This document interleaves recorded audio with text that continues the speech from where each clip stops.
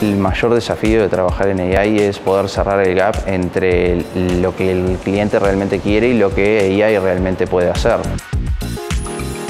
El AI tiene que ser una herramienta para conseguir ese valor que el cliente quiere y no el fin en sí mismo. Ocurre que muchas empresas eh, simplemente quieren implementar AI por decir mi producto o mi servicio tiene AI y eso no es lo que buscamos nosotros, sino que nosotros tenemos que ayudar al cliente a que entienda realmente lo que puede hacer el AI. Me atrevería a decir que trabajamos con la mayoría de las especializaciones técnicas y de las industrias. Vamos desde proyectos más bien simples y basados en modelos estadísticos predictivos, como pueden ser sistemas de recomendación simples o predicción de ventas para una empresa de retail, hasta eh, proyectos que involucran técnicas del estado del arte como son Computer Vision y NLP.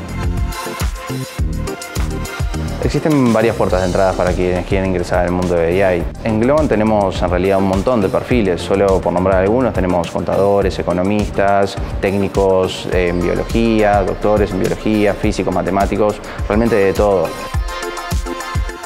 Lo que terminan compartiendo todos estos perfiles al final del día es las ganas por trabajar en tecnología, por eh, trabajar con datos particularmente, encontrar insights y por eh, crear algo que termine formando valor ¿sí? para un cliente final con tecnologías del estado del arte.